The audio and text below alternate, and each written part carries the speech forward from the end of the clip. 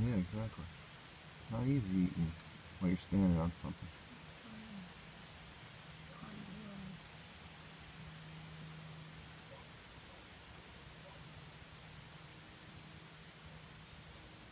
Gotta use your wings to balance.